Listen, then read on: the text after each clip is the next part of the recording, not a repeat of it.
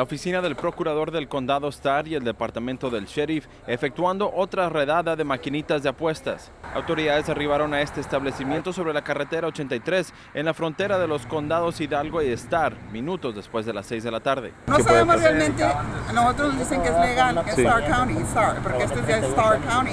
En Hidalgo no, ¿verdad? Y por yo creía que, creo que lo voy viendo ahorita, entonces no es legal.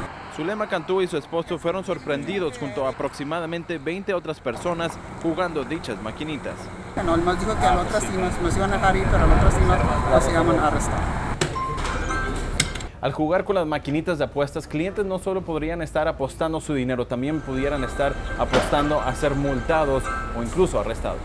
Canto dice que incluso se estaban duplicando créditos de hasta 100 dólares, algo que los dueños, quienes prefirieron no comentar frente a nuestra cámara, dicen es totalmente legal en el condado Star.